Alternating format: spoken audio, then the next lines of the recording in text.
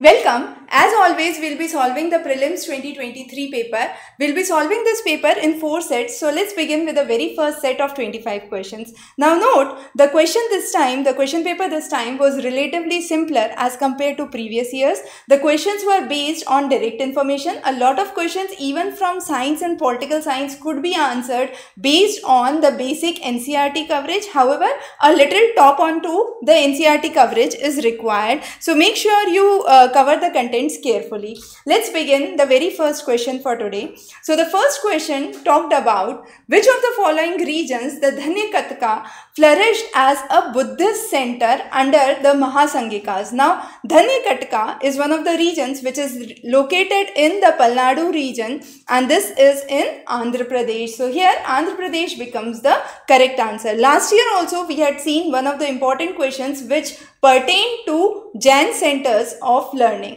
So again, this becomes an important topic for your coming exam as well. Coming on to the next question. Which of, with reference to the ancient India, now this is again another question on Buddhist tradition.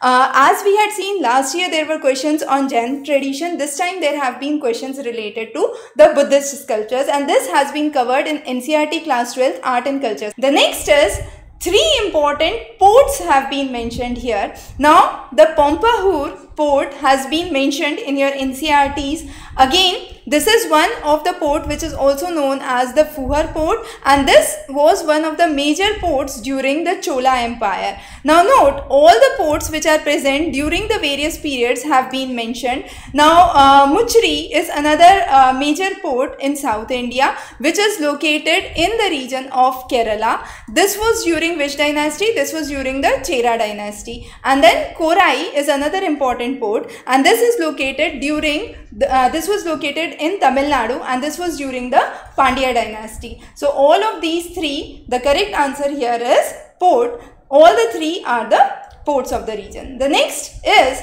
one of the very interesting practices of Sangam poems uh, which have been mentioned in the Sangam literature. Now Vata uh, Kirutal is one of the practices where when a king is in a battlefield and if the king gets defeated, in that case the king has a ritual to commit suicide by fasting unto death. A similar practice in uh, Jain tradition is also followed but that's not related to the king but that is related to the practice of starving themselves unto the death.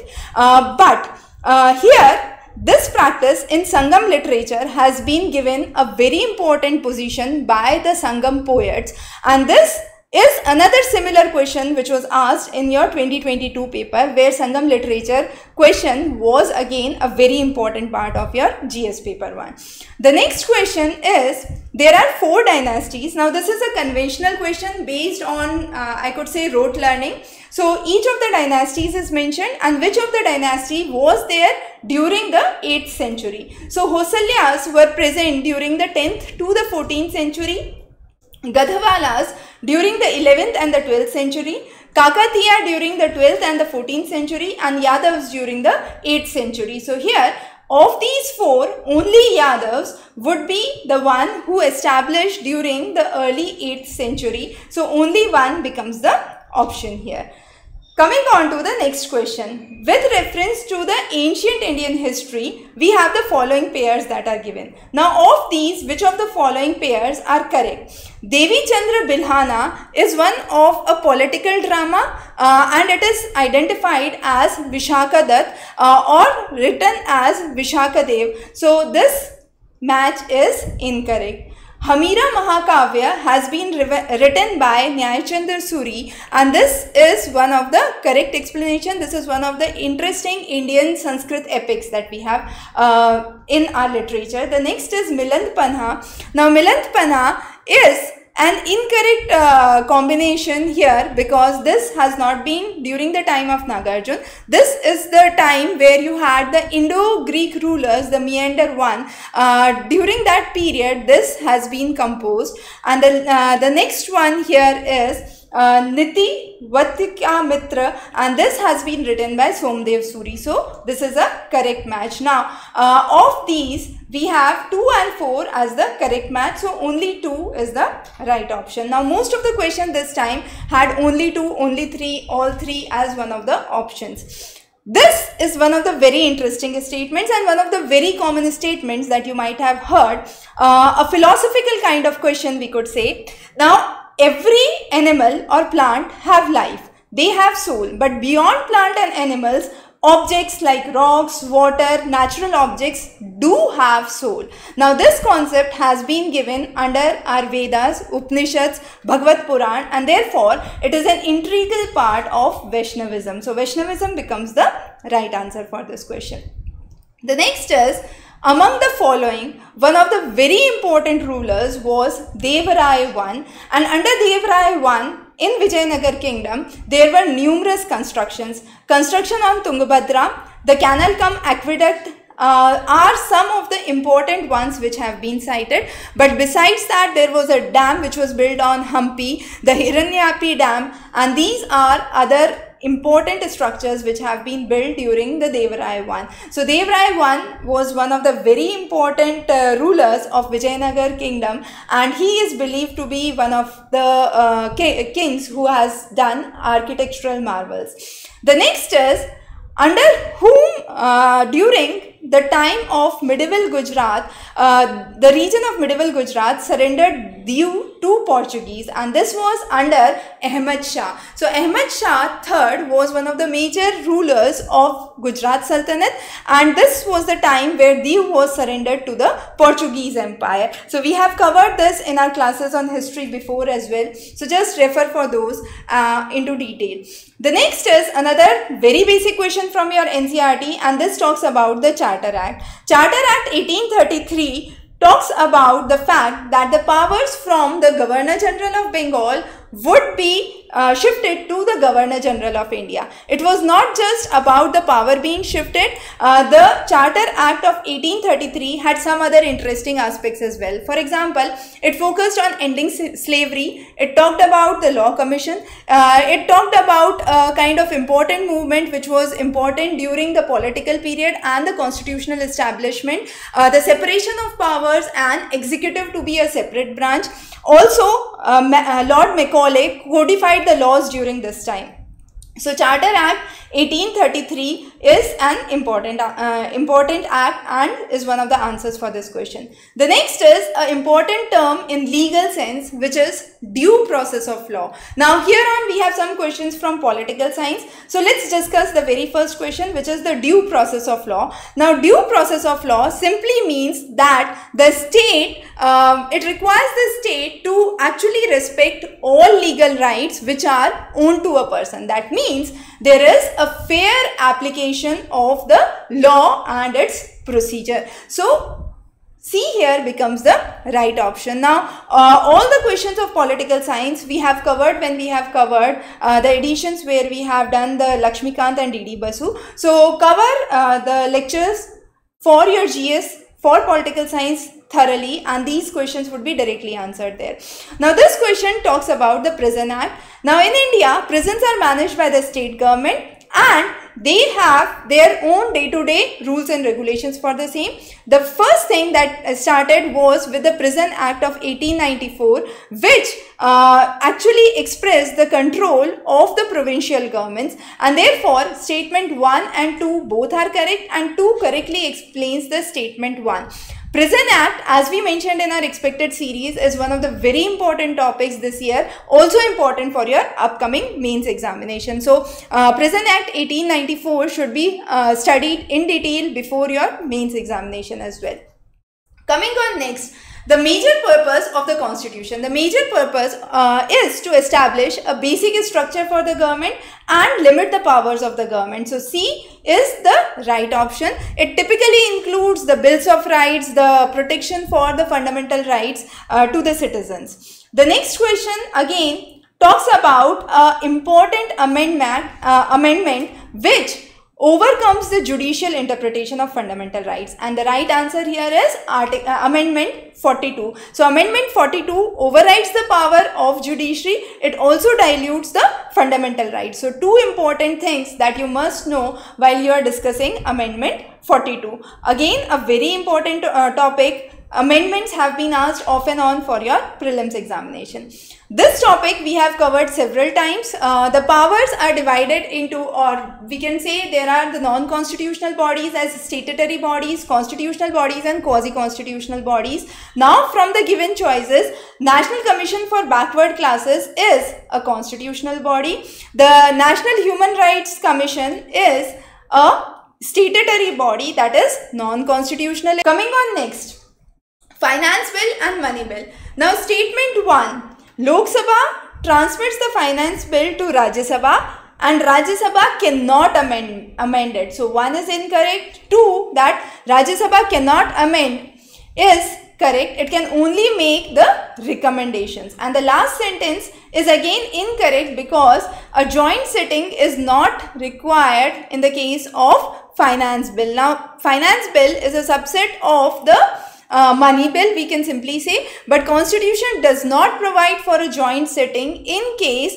of a finance bill. So 3 is a incorrect statement. So here 2 is the only correct option. Coming on to the next question Central government notifies what is a community reserve. Now this is a very important term which is used under section 33 of the Wildlife Protection Act. So section 33 of the Wildlife Protection Act says that the chief wildlife warden of the state becomes the governing authority of such forest. In these cases, hunting is not allowed. People who are dwelling in this region can practice their own agriculture and non-timber forest uh, collection can be done. So all of these statements are the correct statement. So all four becomes the right option here.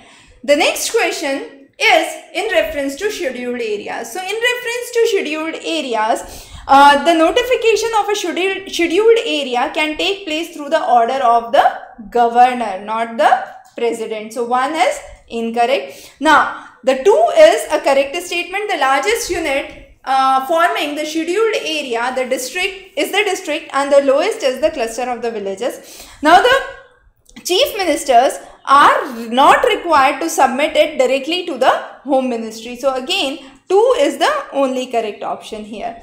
The next question talks about two statements very important. Now this has to be taken into account in the 2006 Nagraj versus Union of the uh, India case said that the article 4 would be limited by article 335 however there was a gap in the interpretation on two terms and this was under the pavitra versus the union of india case in 2019 where it was say, said that it would not be limited and the phrase efficiency of administration was defined or used to construct the colonial and the post-colonial eras. So article 335 defines the term efficiency of administration is correct. However, the first article here, uh, the first statement here is not correct. Very important question because so far under as per the 2006 ruling this was considered as correct after the 2019 decision this has been limited under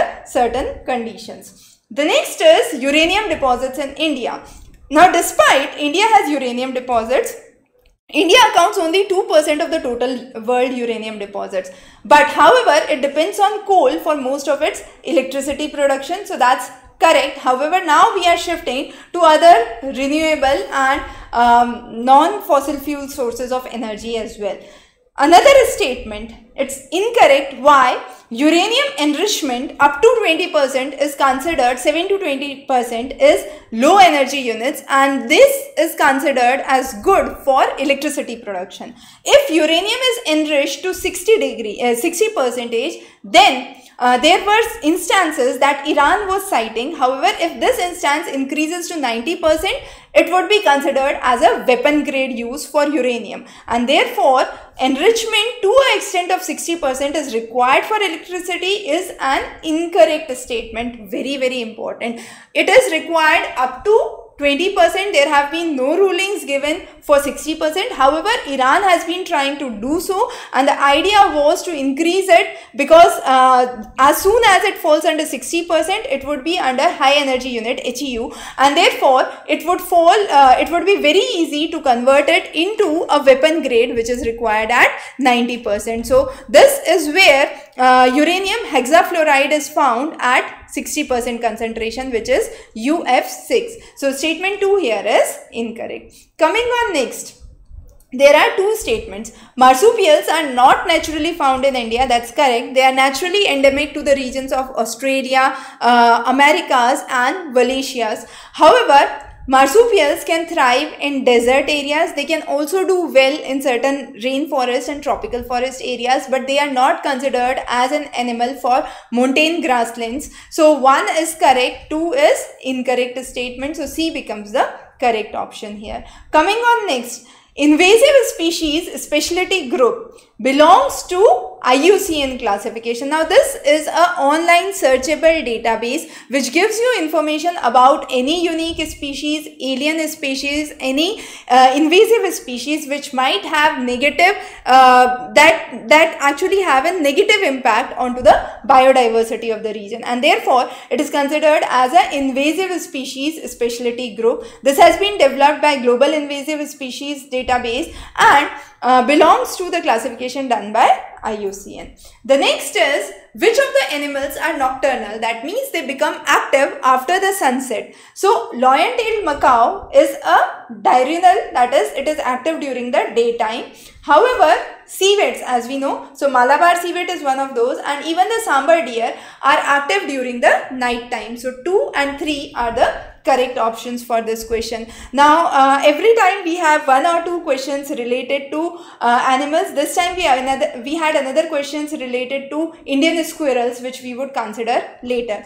The last question for this set today is the waggle dance. Now, waggle dance is one of the important dance that is in the shape of 8 done by honeybees and this dance actually helps indicate other honeybees how far is the food and in what direction you should go for the food. So this here the correct answer is honeybee. Honeybee and its various dances have been discussed in your NCERT science uh, class 6 to 10 so it's probably in the 8th class where this has been discussed. So cover those topics carefully. Uh, so far the 25 questions that we have done are relatively simpler. We'll move on to the next uh, set in the sets of 25. So stay tuned for the next edition and wish you very good luck. Thanks for joining in.